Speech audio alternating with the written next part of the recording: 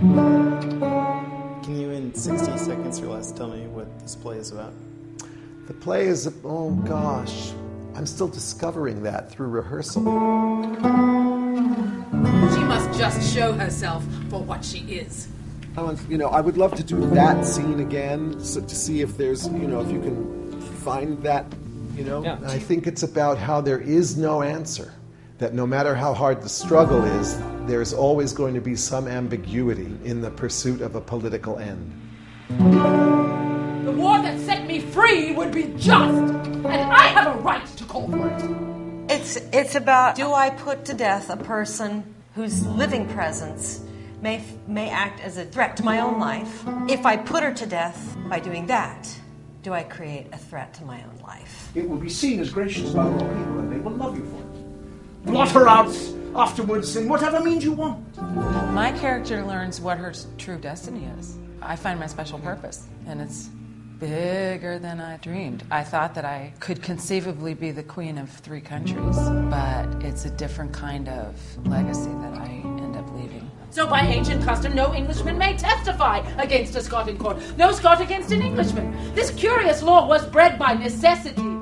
Anne has this remarkable outward intensity, and Suzanne has a wonderful way of pulling the world into her Careless, incapable of reverence.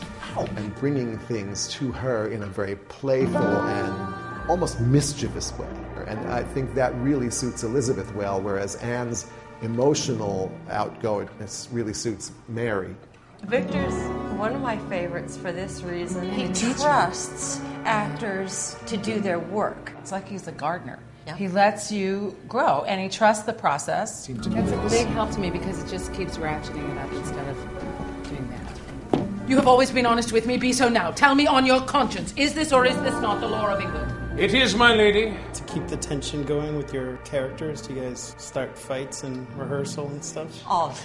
Yeah, we're really method that way. This is the first time I've spoken to her in weeks. When you're doing a very serious play, you want to laugh a lot in rehearsal, and we are.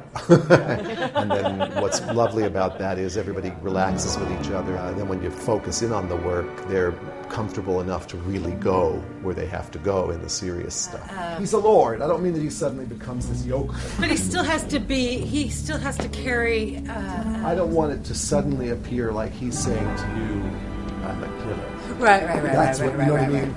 And if you were to wake me one morning with the news that Mary Stuart had died in the night, Depend on me. how soon can I expect my sleep to be more easy? Why do you think this play is still relevant? Because nothing's changed Nothing has. in over 500 years. It's Yeah. all the same stuff politics versus power. What's real power? Who really runs the show? The wonderful thing about a classic is you look back at what somebody wrote hundreds of years ago and you go, oh, wait a minute. This is not new to us, this kind of uh, manipulation and, and, and machinations that happen in government. And it should help us go, okay, if this has been happening forever and ever, what are we going to do about it?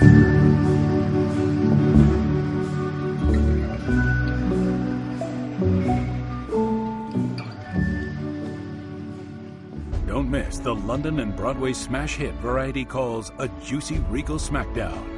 Mary Stuart, now through October 9th. Tickets at acttheatre.org.